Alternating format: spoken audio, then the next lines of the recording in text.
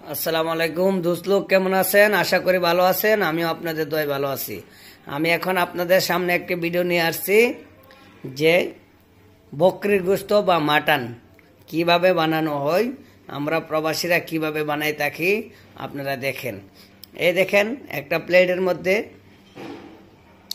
আমি পেঁয়াজের চার থেকে পাঁচটা পেঁয়াজ কাটছি এবং এক টুকরো আদা কাটছি। এবং একটা ফুল রসুন কাটছি এবং এলাচি, দারচিনি, রং, তেজপাতা এক সাইডে রাখছি, কাঁচামরিচ এক সাইডে রাখছি, একটা প্লেটের মধ্যে। এক পাশে আছে তেল, এক পাশে আছে মাটন বা বকরির গুস্ত, ছাগলের গুস্ত আজকে বানাচ্ছি। কয়েকটা সাথে আলুর টুকরা রাখছি, মরিচ, হলুদ ধনিয়া। আপনারা যদি এক থেকে দেড় কিলো গোস্ত বকরির গোস্ত বানান, তাহলে কতটুক পরিমাণ মই মশলা সামান লাগবে, তাই আপনাদেরকে আমি এই ভিডিওতে দেখাচ্ছি। দোস্তলোক দেখেন, এখন আমি কি করতেছি? প্রথম বর্তনটাকে নিয়ে গেলাম চুলায়। নিয়ে চুলার উপর রেখে আস্তে করে আগুনটা জ্বালালাম। চুলাটা একটু কমিয়ে রাখবেন, রেখে একটু পরিমাণ মতো তেল দিবেন। তেল দিয়ে একটু হিট হতে থাকবে। হিট হওয়ার পরে আপনি যে ওই পাঁচ, ছয়টা পেঁয়াজ কেটে রাখছিলেন, ওই পেঁয়াজগুলো আগে দিয়ে দিবেন। দিয়ে সম্পূর্ণ পেঁয়াজ দিয়ে তারপরে আদা বাটা ছিল, ওই আদা বাটা আদা বাটাটা দিয়ে দিবেন। তারপরে রসুন বাটা ছিল ওই রসুন বাটাটা দিয়ে দিলেন। আর তারপরে এলাচি, দারচিনি, তেজপাতা ওইগুলো সাথে দিয়ে দিলেন। দিয়ে দিলেন, দেওয়ার পরে একটু হিট আসলো। ওই হিটটা আসার পরে একটু একটা চামচ বা স্পুন নিয়ে একটু নাড়া দিয়ে মিক্স করে দিলেন তেলের সাথে। তখন ওই পেঁয়াজ, রসুন, আদাটা সুন্দর একটা কালার আসবে। একটু লাল কালার। তখন ডাক্তারনা ডাইখা দিলেন। দেওয়ার পরে পাপ আসবে। তখন ডাক্কানটা উঠিয়ে ডাক্কানটা উঠিয়ে আপনি সুন্দর করে নাড়া দিলেন। দেখেন, অতি সহজ পদ্ধতিতে বকরি বা ছাগলের গোস্ত বানানো হয়। আপনারা নিজেরা দেখেন এবং এই এরকমভাবে তরকারি বানিয়ে আপনারা খাবেন। দেখেন, পেঁয়াজগুলো লাল হওয়ার পরে এই গুস্তটা দেওয়ার আগে দেখেন, মধ্যে কাঁচামরিচটা দিয়ে দিচ্ছি। প্রথমে কাঁচামরিচটা দেয় নাই, কেন কাঁচামরিচটা জ্বলে যাবে, তখন ওইটার ভিটামিন থাকবে না। দেখেন, তারপরে গোস্তগুলো সাজিয়ে গুছিয়ে সুন্দর করে দিতেছি। দেখেন, তখন একটা চামচ বা স্পুন নিয়ে একটু নাড়া দিলেন। নাড়া দিয়ে পেঁয়াজ, কাঁচামরিচ, আদা বাটা, রসুন বাটা, এগুলাকে একটু মিক্স করে দিলেন। মিক্স করে দিয়ে সুন্দর করে মিক্স করে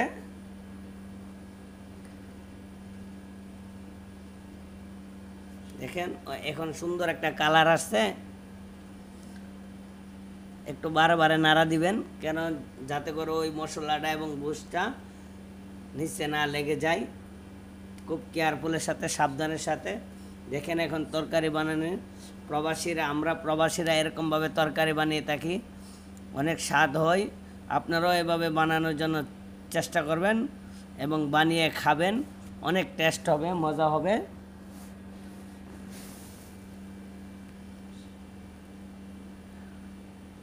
দেখেন সুন্দর করে একটু পরে পরে নাড়া দিতে হবে। নাড়া কম নাই। চুলাটা একটু কমিয়ে রাখবেন। যাতে করে না নিচে লেগে যায়। ঢাক্কানটা ঢেকে দিলেন। তারপর কিছুক্ষণ পরে পা আসলো।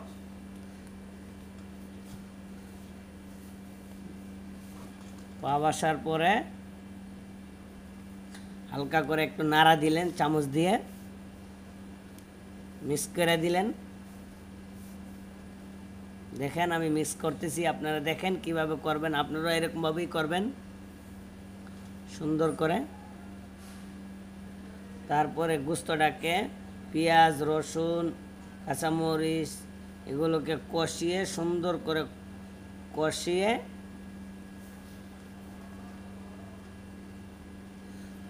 তারপরে ওই আমরা পাউডার জিরাটা খাই না আস্তা জিরা দিই। দেখেন আস্তা জিরা দিচ্ছি আমি, দেখেন আপনারা। তারপরে ওই গোস্তর পরিমাণ মতো মশলা দিতেছি, প্রথমে ধনিয়া দিতেছি। দেখেন আপনারা, আপনারাও এরকমভাবে দিবেন। তারপরে হলুদ দিলাম, পরিমাণ মতো। এক চামচ বা দুই চামচ, এক চামচ বা দুই চামচ তার মরিচ দিলাম। যে পাউডার লাল মরিচটা আছে, দিয়ে একটু মিক্স করে দিলাম। দেখেন মিক্স করে ডাক্কান দিয়ে ডাইখা দিলেন, যাতে করে মশলাটার গন্ধ না আসে। তারপর ওই তরকারির পরিমাণ মতো একটু লবণ দিয়ে দিলেন। লবণ দিয়ে হালকা নাড়া দিয়ে এগুলোকে মিক্স করে দিলেন। তখন তখন দেখেন সুন্দর একটা কালার আসছে। খাসির গুস্তের তরকারি।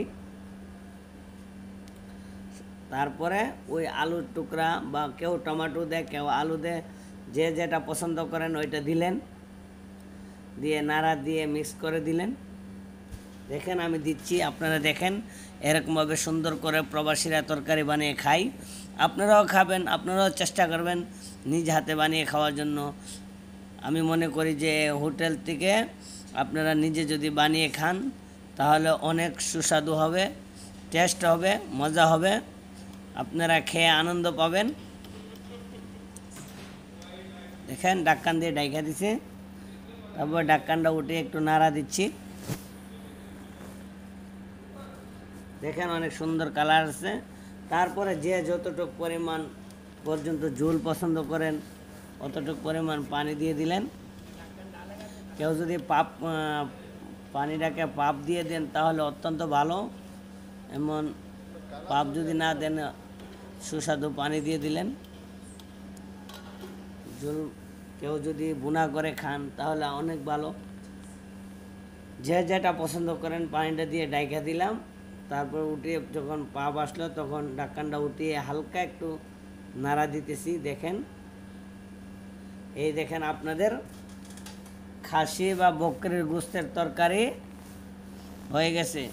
গোস্তের তরকারি বানানো দেখে আপনাদের উপকার হয়, তাহলে আমার চ্যানেলটাকে সাবস্ক্রাইব করে দেবেন। আগে যদি সাবস্ক্রাইব করে থাকেন, তাহলে অসংখ্য ধন্যবাদ।